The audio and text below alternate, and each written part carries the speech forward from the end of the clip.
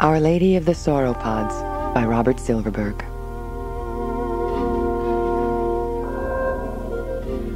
Twenty-one August, 0750 hours. Ten minutes since the module meltdown. I can't see the wreckage from here, but I can smell it. Bitter and sour against the moist tropical air. I've found a cleft in the rocks, a kind of shallow cavern, where I'll be safe from the dinosaurs for a while. It's shielded by thick clumps of cycads, and in any case, it's too small for the big predators to enter. But sooner or later, I'm going to need food. And then what? I have no weapons. How long can one woman last, stranded and more or less helpless, aboard Dino Island? A habitat unit not quite 1,500 meters in diameter that she's sharing with a bunch of active, hungry dinosaurs. I keep telling myself that none of this is really happening. Only I can't quite convince myself of this. My escape still has me shaky. I can't get out of my mind the funny little bubbling sound the tiny power pack made as it began to overheat. In something like 14 seconds, my lovely mobile module became a charred heap of fused together junk, taking with it my communicator unit, my food supply, my laser gun, and, and just about everything else. But for the warning that funny little sound gave me, I'd be so much charred junk too. Better off that way, most likely. When I close my eyes, I imagine I can see Habitat Vronsky floating serenely in orbit a mere 120 kilometers away. What a beautiful sight. The walls gleaming like platinum, the great mirror collecting sunlight and flashing it into the windows, the agricultural satellites wheeling around it like a dozen tiny moons. I could almost reach out and touch it, tap on the shielding and murmur, Help me, come for me, rescue me. But I might just as well be out beyond Neptune as sitting here in the adjoining Lagrange slot. There's no way I can call for help. The moment I move outside this protective cleft in the rock, I'm at the mercy of my saurians, and their mercy is not likely to be tender. Now it's beginning to rain. Artificial, like practically everything else on Dino Island. But it gets you just as wet as the natural kind, and just as clammy. Ugh. Jesus, what am I going to do? Oh, eight fifteen hours. The rain is over for now. It'll come again in six hours. Astonishing how muggy, dank, thick the air is. Simply breathing is hard work, and I feel as though mildew is forming on my lungs. I miss Vronsky's clear, crisp, everlasting springtime air. On previous trips to Dino Island, I never cared about the climate. But of course I was snugly englobed in my mobile unit. A world within a world, self-contained, self-sufficient, isolated from all contact with this place and its creatures. Merely a roving eye, traveling as I pleased, invisible and vulnerable. Can they sniff me in here? We don't think their sense of smell is very acute, and the stink of the burned wreckage dominates the place at the moment, but I must reek with fear signals. I feel calm now, but it was different when I got out of the module. Scattered pheromones all over the place, I bet. Commotion in the cycads. Something's coming in here. Long neck, small bird-like feet, delicate, grasping hands. Not to worry. Struthiomimus is all. Dainty dino. Fragile bird-like critter barely two meters high. Liquid golden eyes staring solemnly at me. It swivels its head from side to side, ostrich-like. Click, click as if trying to make up its mind about coming closer to me. Scat! Go peck a stegosaur. Let me alone. It withdraws, making little clucking sounds. Closest I've ever been to a live dinosaur. Glad it was one of the little ones. Oh, 900 hours. Getting hungry. What am I going to eat? They say roasted cycad cones aren't too bad. How about raw ones? So many plants are edible when cooked and poisonous otherwise. I never studied such things in detail. Living in our antiseptic little L5 habitats, we're not required to be outdoors wise, after all. Anyway, there's a fleshy looking cone on the cycad just in front of the cleft, and it's got an edible look. Might as well try it raw because there's no other way. Rubbing sticks together will get me nowhere. Getting the cone off takes some work. Wiggle, twist, Snap, tear, there. Not as fleshy as it looks. Chewy, in fact. It's a little like munching on rubber. Decent flavor, though. And maybe some useful carbohydrate. The shuttle isn't due to pick me up for 30 days. Nobody's apt to come looking for me or even think about me before then. I'm on my own. Nice irony there. I was desperate to get out of Vronsky and escape from all the bickering and maneuvering, the endless meetings and memoranda, the feinting and counter-feinting, all the ugly political crap that scientists indulge in when they turn into administrators. Thirty days of blessed isolation on Dino Island. An end to that constant dull throbbing in my head from the daily infighting with Director Sarber. Pure research again. And then the meltdown. And here I am, cowering in the bushes, wondering which comes first, starving or getting gobbled by some cloned tyrannosaur. Oh, 9.30 hours. Funny thought just now. Could it have been sabotage? Consider. Sarber and I feuding for weeks over the issue of opening Dino Island to tourists. Crucial staff vote coming up next month. Sarber says we can raise millions a year for expanded studies with a program of guided tours and perhaps some rental of the island to film companies. I say that's risky for the dinos and for the tourists, destructive of scientific values, a distraction, a sellout. Emotionally, the staff's with me. But Sarber waves figures around, shows fancy income projections, and generally shouts and blusters. Temper's running high. Sarber in lethal fury at being opposed, barely able to hide his loathing for me. Circulating rumors, designed to get back to me, that if I persist in blocking him, he'll abort my career. Which is malarkey, of course. He may outrank me, but he has no real authority over me. And then his politeness yesterday. Yesterday? Oh, an eon ago. Smiling swarmily, telling me he hopes I'll rethink my position during my observation tour on the island wishing me well. Had he gimmicked my power pack?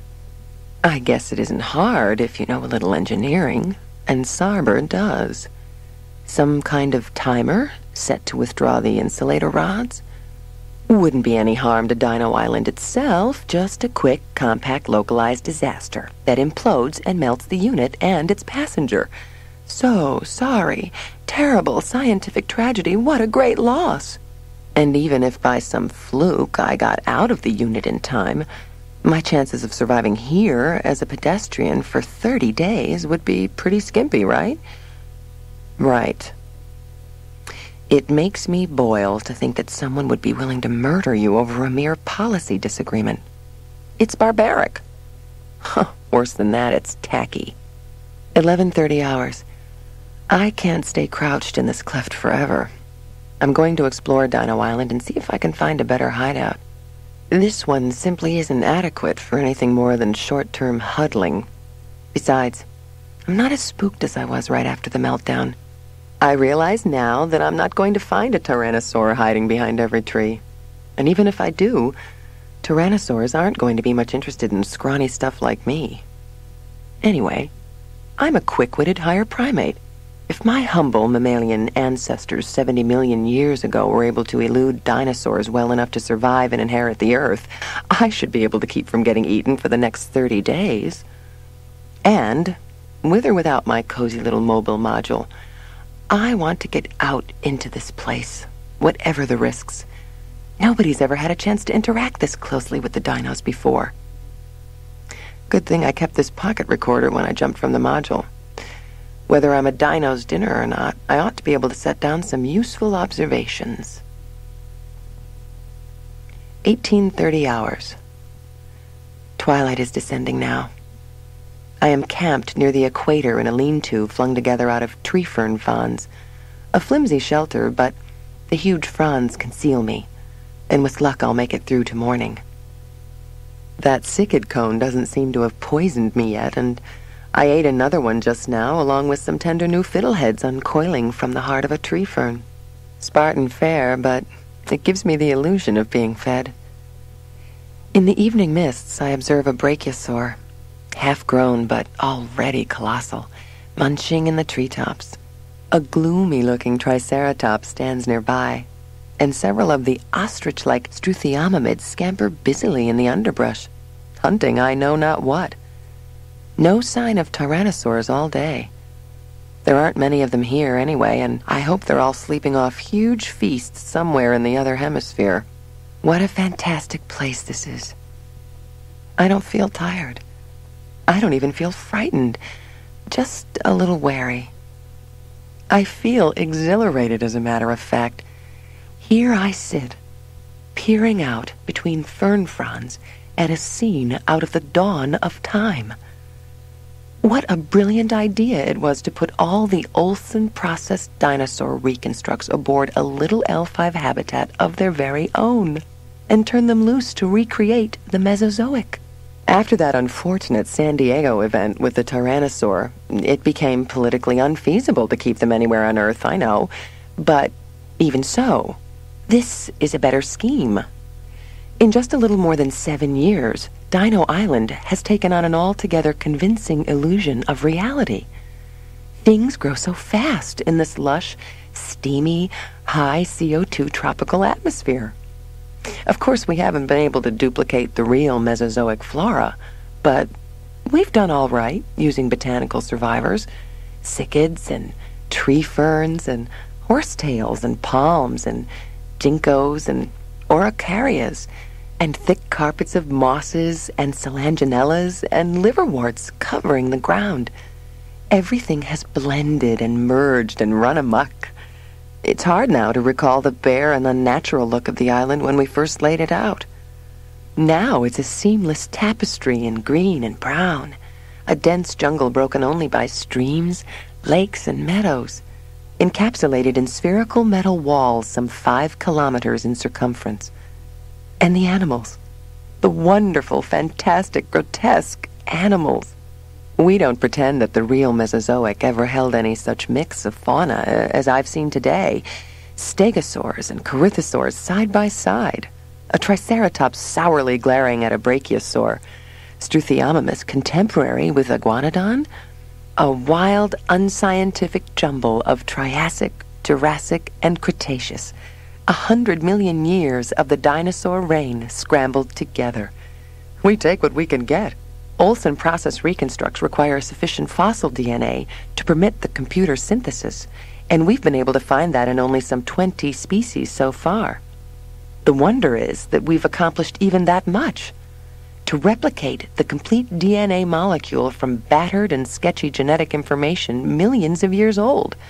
To carry out the intricate implants in reptilian host ova. To see the embryos through to self-sustaining levels. The only word that applies is miraculous.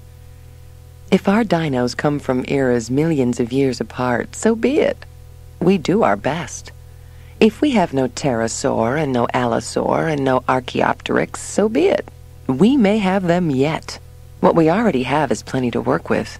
Someday there may be separate Triassic, Jurassic, and Cretaceous satellite habitats, but none of us will live to see that, I suspect. Total darkness now. Mysterious screechings and hissings out there. This afternoon, as I moved cautiously but in delight from the wreckage site up near the rotation axis to my present equatorial camp, sometimes coming within 50 or a 100 meters of living dinos, I felt a kind of ecstasy. Now my fears are returning and my anger at the stupid marooning. I imagine clutching claws reaching for me, terrible jaws yawning above me. I don't think I'll get much sleep tonight. 22 August, 0600 hours. Rosy-fingered dawn comes to Dino Island, and I'm still alive. Not a great night's sleep, but I must have had some, because I can remember fragments of dreams. About dinosaurs, naturally. Sitting in little groups, some playing pinochle and some knitting sweaters and choral singing, a dinosaur rendition of the Messiah or Beethoven's Ninth. I don't remember which. I think I'm going nuts. I feel alert, inquisitive, and hungry, especially hungry. I know we've stocked this place with frogs and turtles and other small size anachronisms to provide a balanced diet for the big critters. Today I'll have to snare some for myself, grisly though I find the prospect of eating raw frog's legs. I don't bother getting dressed anymore. With rain showers programmed to fall four times a day, it's better to go naked anyway. Mother Eve of the Mesozoic, that's me. And without my sage tunic, I find that I don't mind the greenhouse atmosphere of the habitat half as much as I did. Out to see what I can find. The dinosaurs are up and about already, the big herbivores munching away, the carnivores doing their stalking. All of them have such huge appetites that they can't wait for the sun to come up. In the bad old days, when the dinos were thought to be reptiles, of course we'd have expected them to sit there like lumps until daylight got their body temperatures up to functional levels. But one of the great joys of the Reconstruct project was the vindication of the notion that dinosaurs were warm-blooded animals, active and quick and pretty damned intelligent. No sluggardly crocodilians these. Would that they were, if only for my survival's sake. 11:30 hours. A busy morning. My first encounter with a major predator. There are nine tyrannosaurs on the island, including three born in the past 18 months.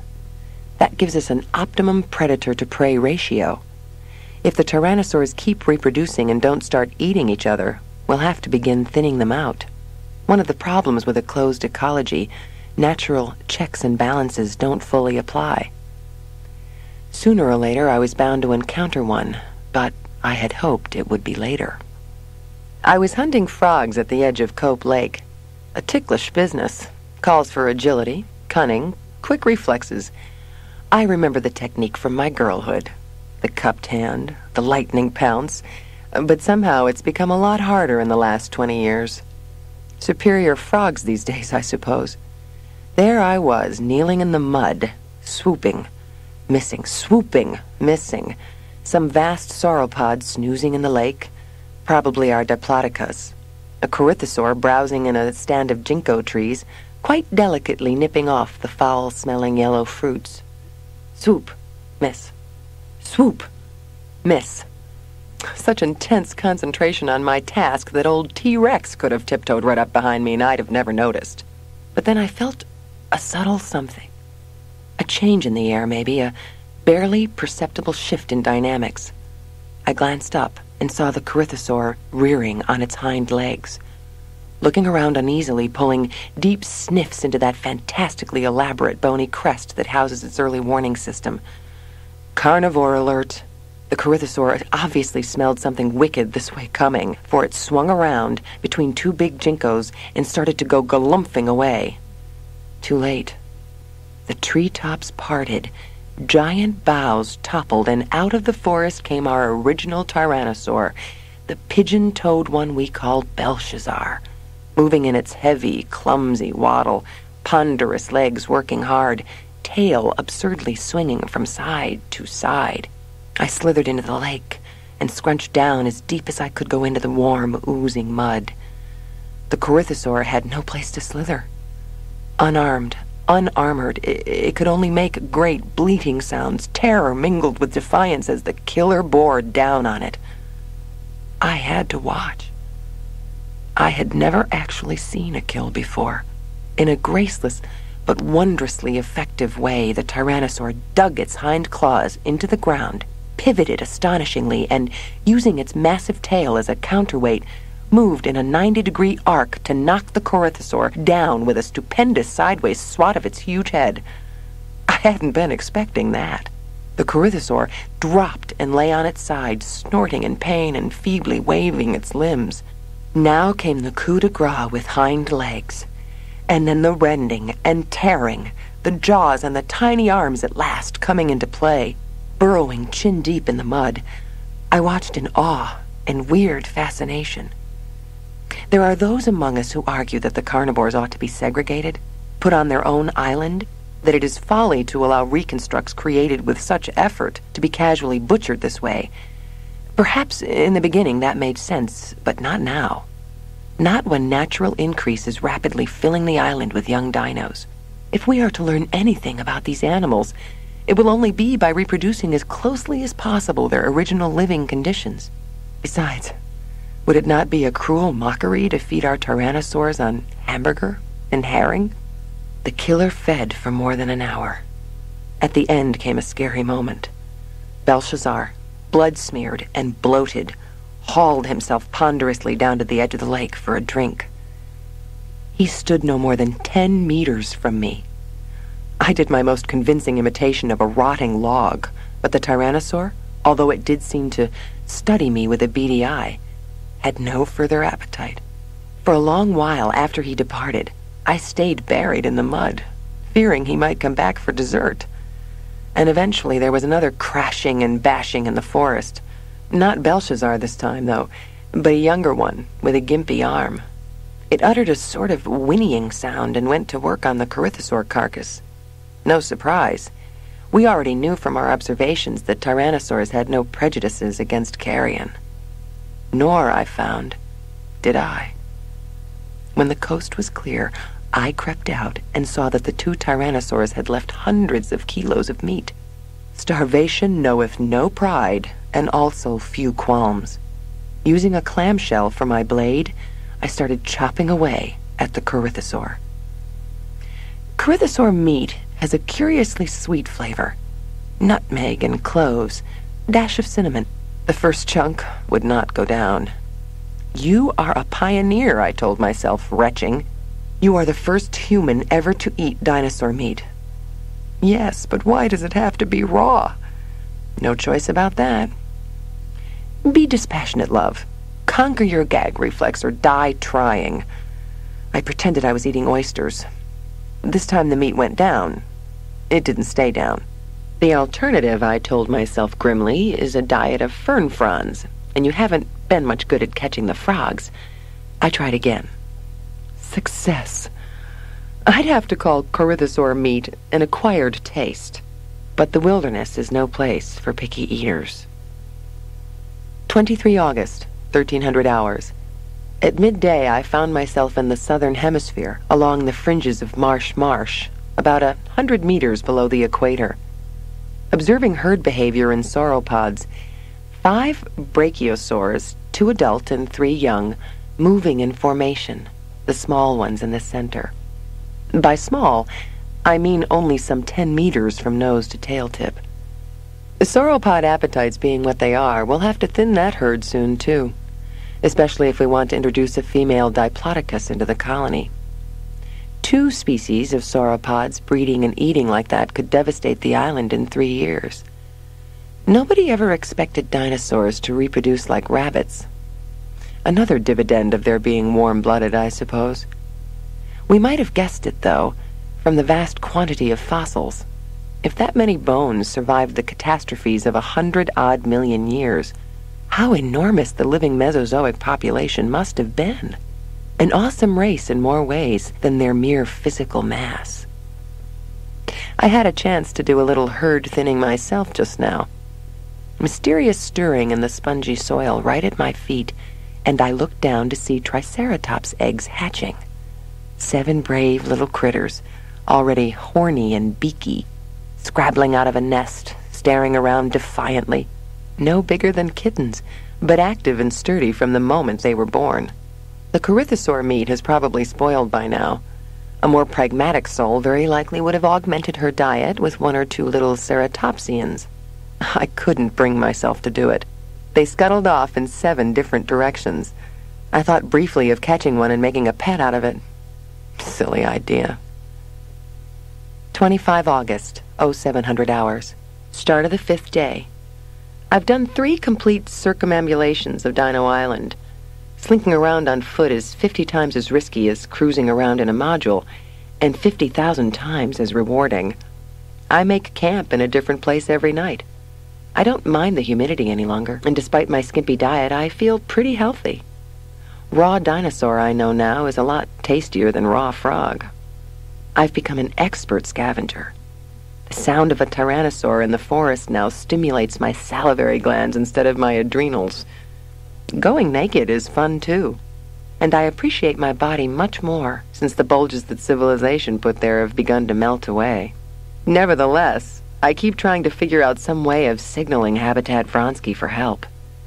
Changing the position of the reflecting mirrors, maybe, so I can beam an SOS?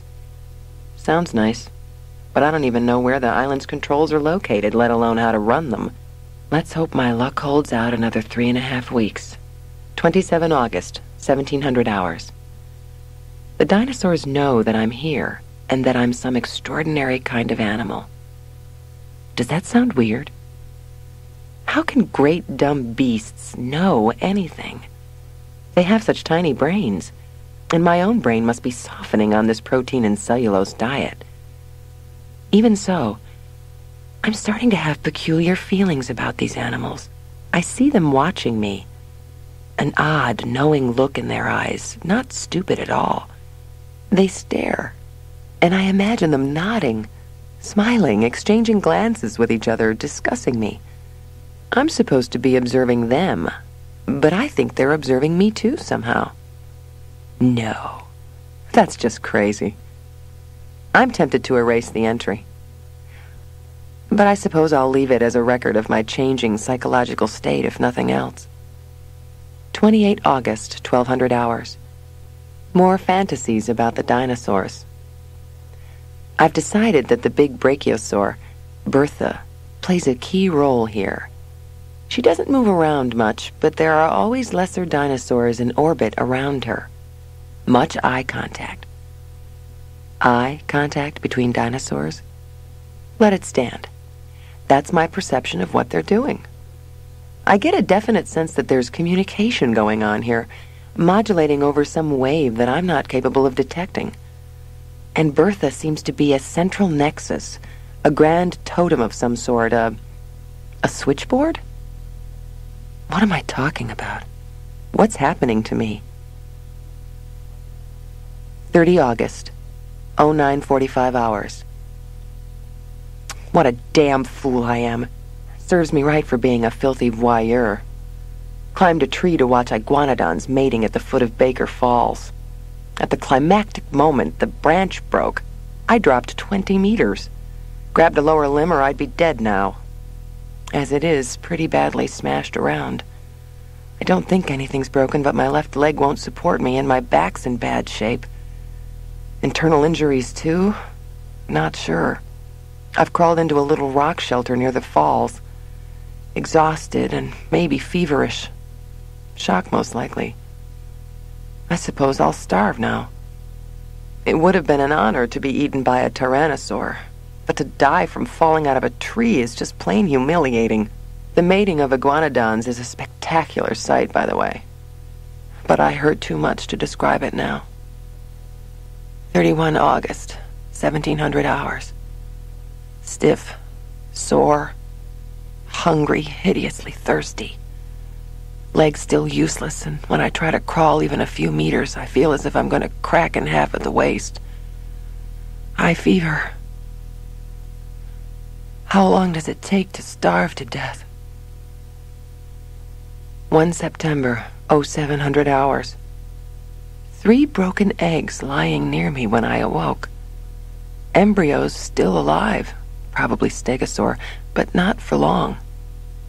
First food in 48 hours. Did the eggs fall out of a nest somewhere overhead? Do stegosaurs make their nests in trees, dummy? Fever diminishing. Body aches all over. Crawled to the stream and managed to scoop up a little water. 1330 hours. Dozed off.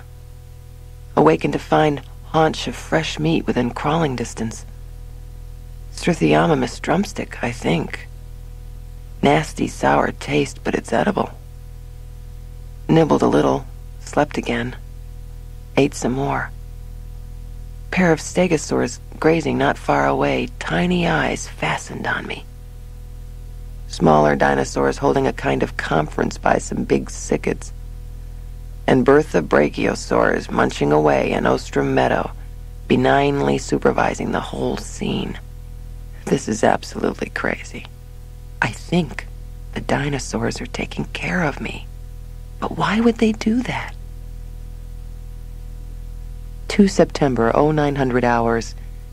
No doubt of it at all. They bring me eggs, meat, even cycad cones and tree fern fronds. At first, they delivered things only when I slept. But now they come hopping right up to me and dump things at my feet. The Struthiomids are the bearers. They're the smallest, most agile, quickest hands. They bring their offerings, stare me right in the eye, pause as if waiting for a tip. Other dinosaurs watching from the distance. This is a coordinated effort. I am the center of all activity on the island, it seems. I imagine that even the tyrannosaurs are saving choice cuts for me. Hallucination? Fantasy? Delirium of fever? I feel lucid. The fever is abating. I'm still too stiff and weak to move very far, but I think I'm recovering from the effects of my fall. With a little help from my friends. 1000 hours. Played back the last entry. Thinking it over. I don't think I've gone insane. If I'm sane enough to be worried about my sanity, how crazy can I be? Or am I just fooling myself? There's a terrible conflict between what I think I perceive going on here and what I know I ought to be perceiving. 1500 hours. A long, strange dream this afternoon. I saw all the dinosaurs standing in the meadow, and they were connected to one another by gleaming threads, like the telephone lines of olden times, and all the threads centered on Bertha, as if she's the switchboard, yes. And telepathic messages were traveling through her to the others, an extrasensory hookup powerful pulses moving along the lines. I dreamed that a small dinosaur came to me and offered me a line, and in pantomime showed me how to hook it up. And a great flood of delight went through me as I made the connection.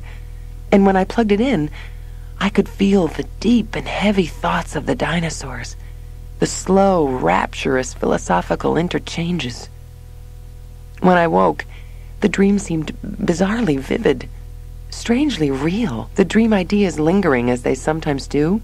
I saw the animals about me in a new way, as if this is not just a zoological research station, but a community, a settlement, the sole outpost of an alien civilization, an alien civilization native to Earth. Oh, come off it. These animals have minute brains. They spend their days chomping on greenery, except for the ones that chomp on other dinosaurs.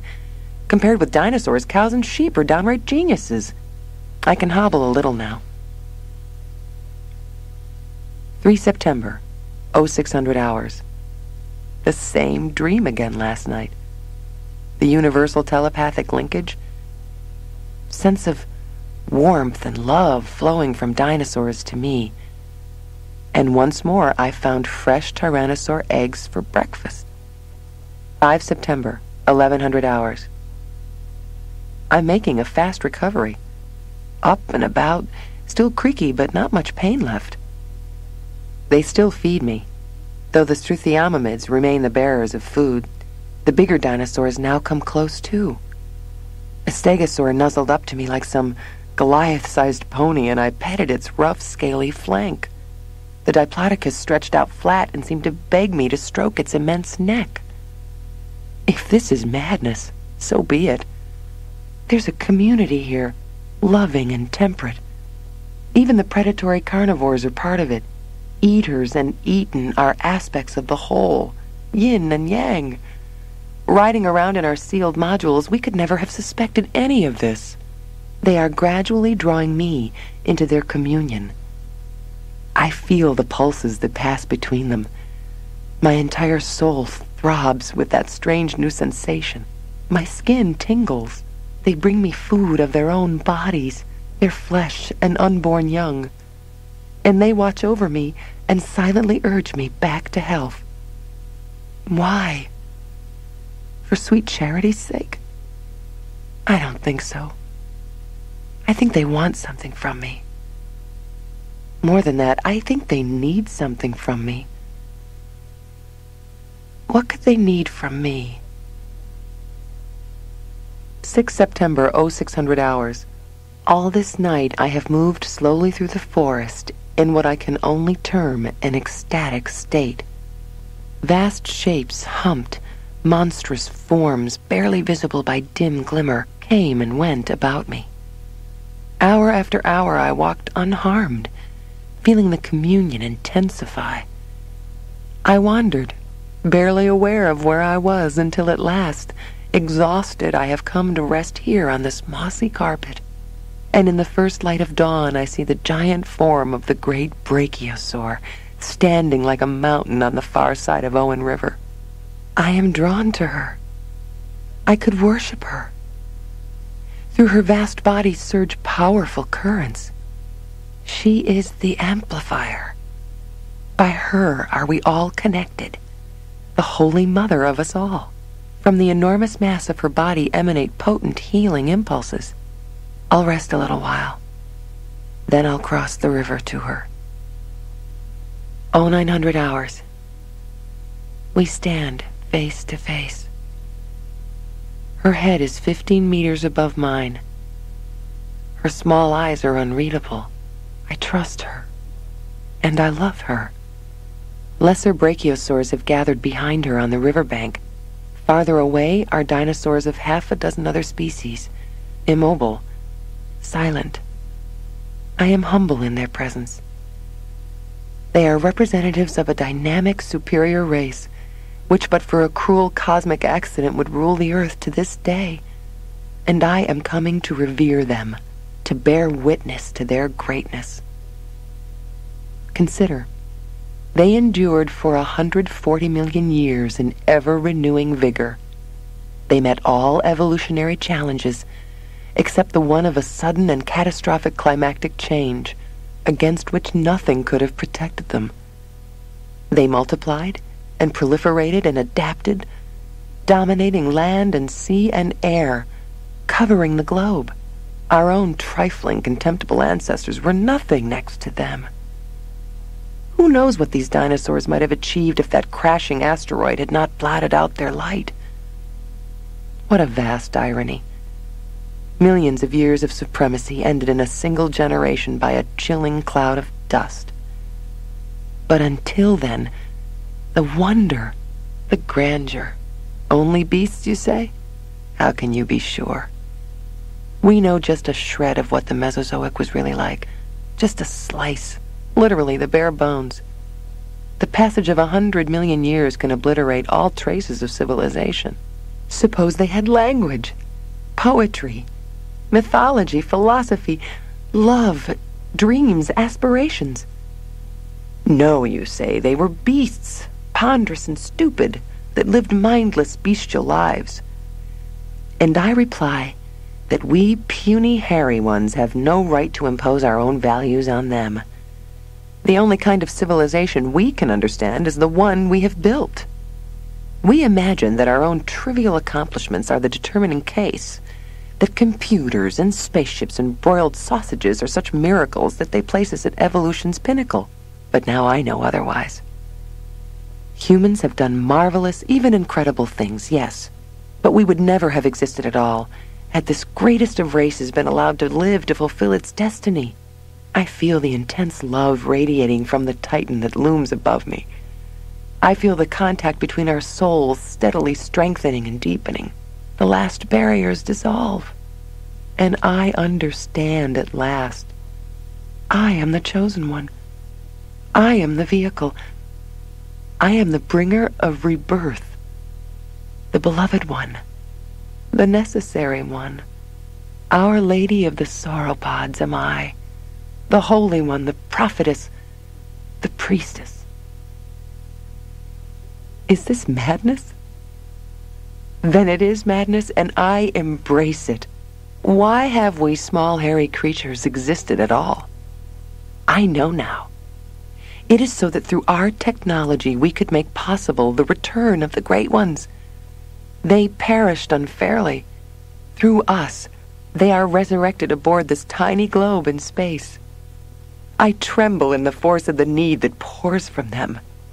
I will not fail you, I tell the great sauropods before me. And the sauropods send my thoughts reverberating to all the others.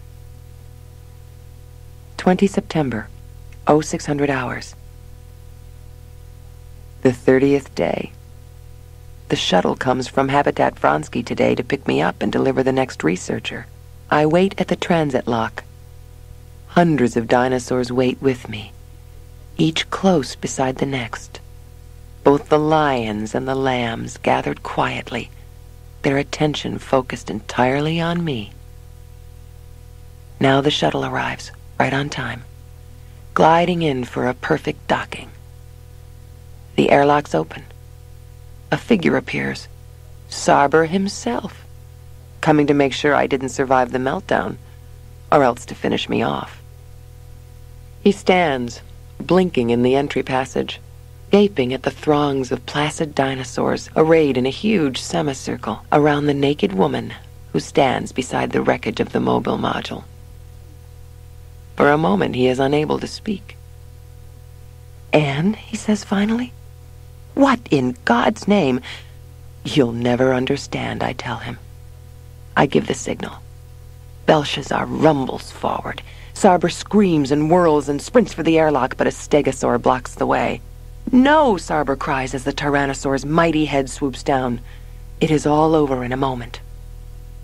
Revenge. How sweet. And this is only the beginning. Habitat Vronsky lies just 120 kilometers away. Elsewhere in the Lagrange Belt are hundreds of other habitats ripe for conquest. The Earth itself is within easy reach. I have no idea yet how it will be accomplished, but I know it will be done, and done successfully, and I will be the instrument of which it is done. I stretch forth my arms to the mighty creatures that surround me. I feel their strength, their power, their harmony. I am one with them and they with me. The great race has returned, and I am its priestess.